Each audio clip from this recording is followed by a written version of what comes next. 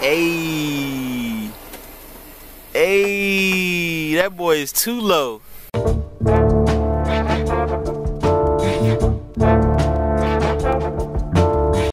What's up, y'all? Trey be dipping in the building. You know what time it is. So today I got something a little different, man. Today, um, now normally, you know, for my normal subscribers, you guys know what my normal content is. Uh, it's on these two bad boys right here. But today I got something different, man. More shop related, and I won't be dipping either. So if you read the title, obviously you'll know I'll be installing uh, air suspension on uh, my boy Civic. Um, I know, boo Civic, nah, but it's all right though. He used to own a Prelude, so I give him, you know, I give him respect.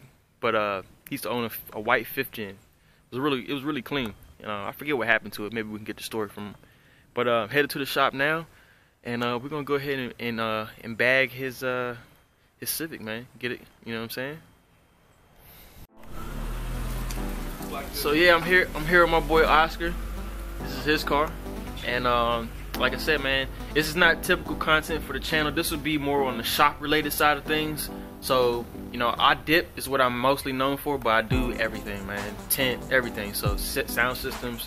So this is just gonna fall into one of them categories of shop related videos. But um, you gotta support the local uh, businesses, and I mean, I know uh, I've known you for a minute, so appreciate your help, bro. Really yeah, do. he he was around back in the days when I had my purple Prelude. Even I think I took you on I took you on a ride for it too, right? Oh yeah.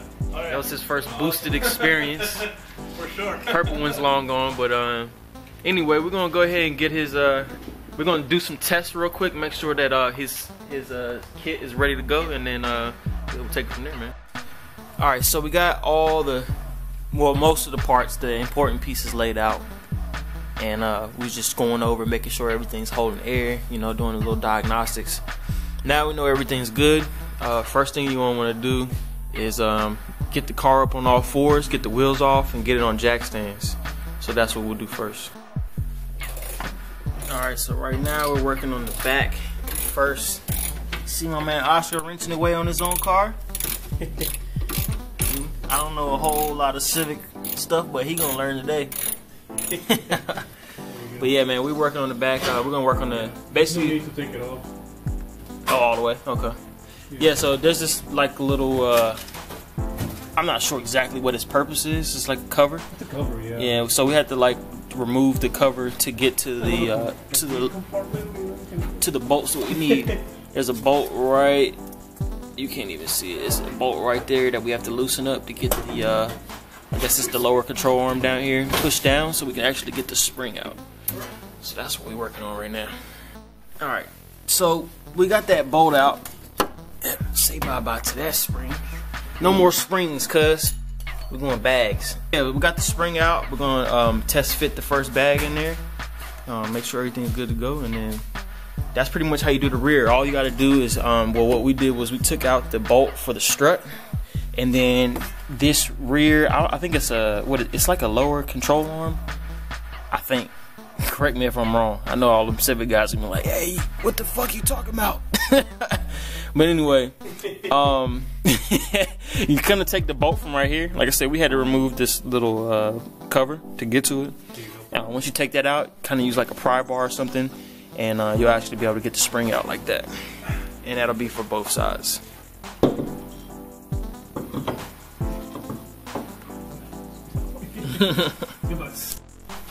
Okay, so the last uh, kind of piece of the puzzle is this is actually the rear uh, airbag.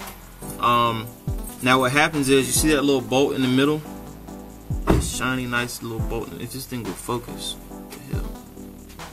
Anyway, that bolt in the middle um, has to go through the actual. Uh, see if I can show you. See that? See that little circle piece with the hole in it? um, that's in the actual frame of the, of the back of the car. So that bolt needs to go through that hole. So that's not gonna fit. So what you got to do is you actually have to kind of. I wish this thing. What the hell? You actually have to uh, drill that hole big enough for this screw to go through.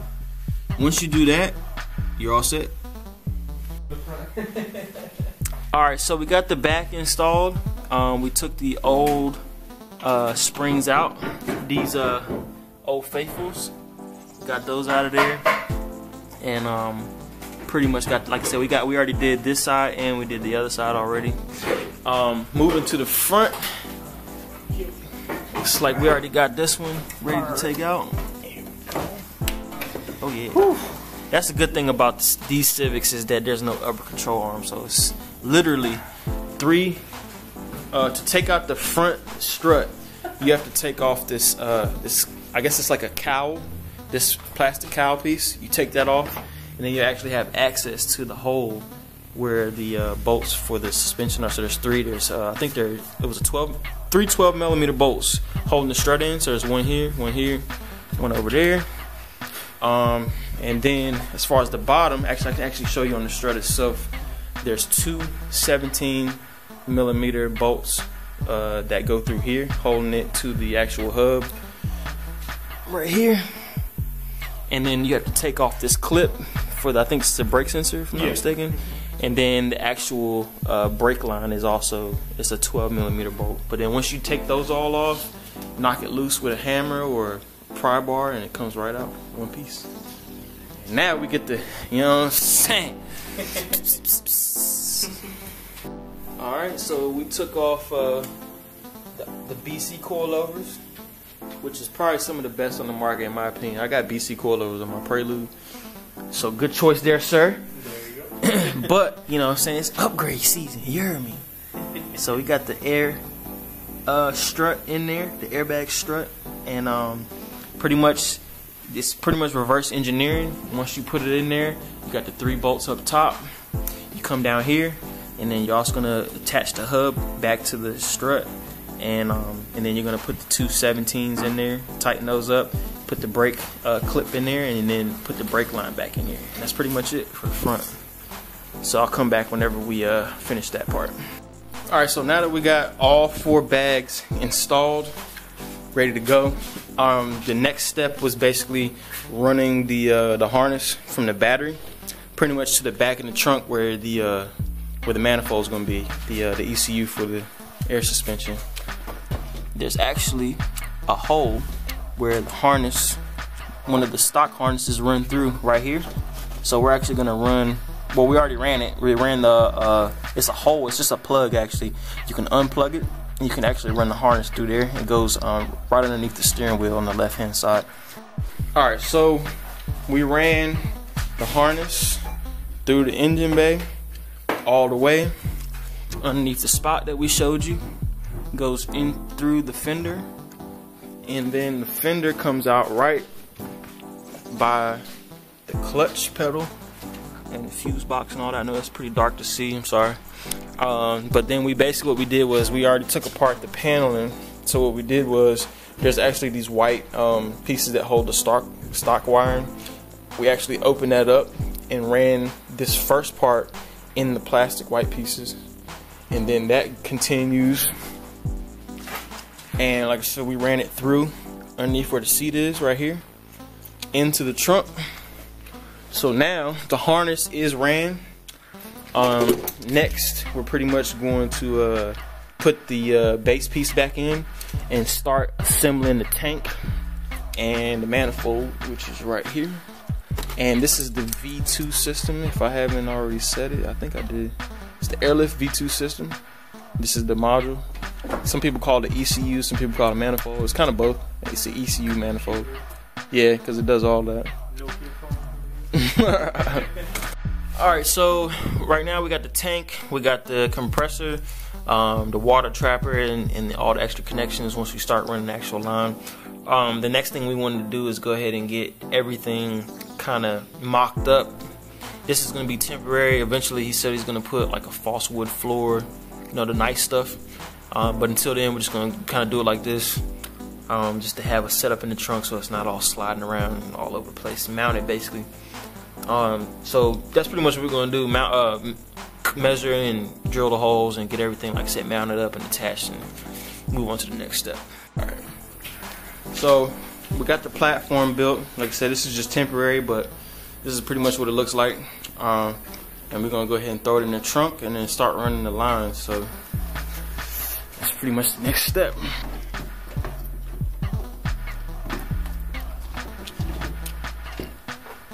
You can actually, you can actually, uh, later down the road, you can actually cut that with the, like, the leftover. Yeah, I'll about. Right. That's pretty much how it's gonna sit for now. Said he's gonna put a false floor in there later down the road, but for now, that's what it's gonna look like. Get this bad boy in here. yeah, so now we just gotta run the airlines connect everything, and uh, we're almost good to go. So we actually already ran the line through the car, and we're actually to the point where I figured it'd be beneficial to show you guys. Um, let me get some light real quick. I wanted to show you guys what it would actually look like when you plug it up. Um, when you connect the airline to the actual hard line. Um, so basically, uh, the threaded the threaded aluminum line or whatever you want to call it, the braided steel line, um, that goes to the airbag itself, and literally it's just plug and play. And then we're gonna run that up and tuck it up neatly, but for the most part, that's pretty much it. And um, we already got it ran through the car. Um, the front ones are already ran to the manifold um, through the plastics that I was telling you guys. It's gonna go underneath the plastics. So I don't know if you can see. This is the airline itself, and that's gonna be underneath the plastics running through from the front all the way to the back to the manifold, which we already have. Oh, my bad. See, we already got it ran. So now we have to do the do the back, and we're good to go. Yeah, so uh, I'm gonna show you guys pretty much where we're at now. Let me pull out my light. All right, so we got the all the lines are ran. I'm gonna show you the back in a second. It doesn't even once I put this plastic on, it look like nothing. Every look, it'll look like we ain't even pull anything off. Which is the point. You want it clean, nice and tucked. So um, just keep in mind that this is how we did it. If you want that clean tucked look and you're doing it yourself, definitely want to do something like this. Um, also, um, the way we ran the lines for his vehicle, like I said, this is an 08. We're not done yet tucking everything, but um, what we did was we ran the lines up through, and this is where the uh, spare tire is. Um, that side, because of the way the muffler is, uh, the muffler is kind of in the way. We actually ran the line across and then up and ran both rear sides through the back like this. My bad, I had my phone in the way. And in that third line, just dangling by itself, once I've cut it and fit it, that's gonna be the exit. Um, the exit uh, from the manifold. It's where once you air out, that's where all the air will come from. Um, like I said, we ain't, we're not all the way done yet. We still gotta tuck everything, but all the lines are ran to the manifold, and I just wired up the um, compressor. So pretty much only thing that's left now is oh, and you just ran the wire to the Controller. he ran the wire to the controller how he wanted to. Yeah. It all depends how you want it to have, um, you know, the controller. Let me show you. Yeah, so he ran it um, the same way we ran the. Oh, look at that. Same way we ran the uh the uh the what is it called? What's the word? I'm looking airline? for? Yeah, the same way we ran the airline. Um, it's the same way he Yeah, ran the cord bottom, through the plastic, basically. underneath the plastic. And uh, what I did personally, uh, what I wanted was uh, the control in the middle. I'll find something to stick it, but the point is, I ran it flushly here, nice and clean, under the uh, passenger seat. Pull it out right here, as you can see. And yeah, And I have room to like move it around if I need to. If I you need still have your where's your, where's your remote? uh, right here, it's ready Oh. to roll. Okay, yeah. So there's the remote. That's the V2 remote. Yeah, so, So it's gonna be nice, tucked and clean. So our only two things I have left to do is I have to run the signal wire to most people. Um, most people recommend running it to like the fuel pump fuse or something similar to that. Um, you can use like a they call it a fuse splitter. Um, I think we're gonna take a different route, but that pink wire you see hanging right there, that's the signal wire. And then, uh, of course, we still have to make the connections for the battery itself, which is right there. And then once we do that, we'll be ready to put everything back together and make sure that the compressor works. And yeah, pretty much air it out, cuz. All right, y'all. So we got literally everything tucked away, OEM looking. I got. I just put the terminal on the battery. I, I ran the signal wire um, from the uh, uh, from the it's the actual signal wire on the harness to the uh, like I said we ran that to the fuel pump fuse. And then um, only thing left to do is plug in the controller and turn the car on accessory on and see if see if it uh actually um, what's the word? If the compressor kicks on and then we'll know then we got to calibrate it and all that. So I guess let's uh, turn the key on and see what happens Hey. hey that boy's size now he's like yo put me on the ground There you go. put me on the ground so I can air out look at him moments away from airing out how you feel Extremely excited. Extremely excited. This this is all bringing back memories So now. far, I mean, we've been working since like what two? Yeah. So it's been a long, you know, long road. But um, yeah, I think it's about eleven something now. the thing is, I mean, the best tip I can give you guys is uh, do everything slowly, clean, you know, everything nice and tucked in. Because the more time you spend on it the first time, the less likely you have to waste more time, you know, fixing or whatever. That's honestly the best recommendation I can give you guys. Just take your time with it. Facts. Yeah. Once you get the vehicle, um, get the wheels back on and everything, um, you're gonna want to go to your controller and before you get it on the ground, I don't think that you want to be aired out. So um, part of your diagnostics is um, once the tank fills up for the first time, you're gonna want to put air in each bag to make sure it's not leaking. Number one and number two, you don't. I don't think you really want it to be aired out. Um, on you know when you get it back on the ground. So put some air in each bag, and then once you get it um, outside or wherever you want to do it, um, you want to calibrate it. And so in order to calibrate it, um, I guess each system is going to be different. For the V2 specifically, you're going to hold these buttons are numbered, uh, not not literally, but they're numbered one, two, three, four, five, six, seven, eight. That's what the cord being straight up, where you can read the numbers, and you want to press button one and five together, and you hold that down, and it'll pull up a menu, and then you press, I believe it's two for calibration. takes like 10 minutes to calibrate. Once you let it calibrate, you all set. So my man about to get his first official, official air out session. Do it. Ready? Yep. Let's go.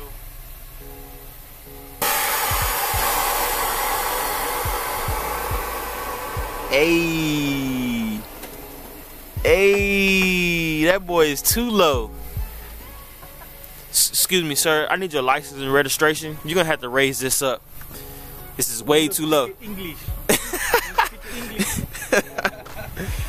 Hey, man. Another successful install, man.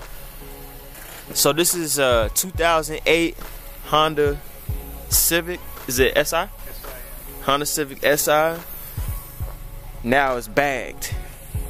You hear me? On airlift, uh, the airlift V2 suspension setup management system. Looks good, man. So of course he's gonna get some, probably some new wheels in the future, and uh, it may have to come get that dip session in. You know what I'm saying? Yeah, you know what I'm saying. But uh, he on his way, man. Looks good.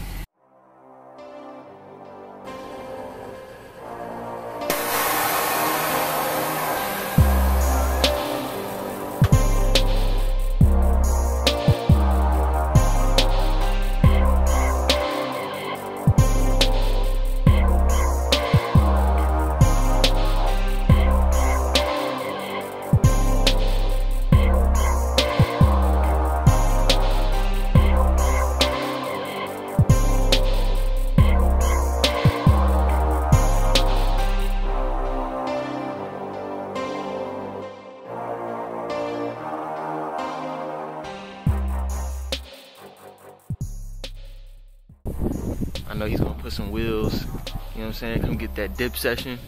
He gonna be in there. But uh, if you enjoyed the video, smash that that uh, that thumbs up button, and uh, you see that right there? That's the subscribe button. Go ahead and hit that, and I'll see y'all on the next video. The grand opening. I come through and start smoking shit. I'm creeping up while I'm approaching.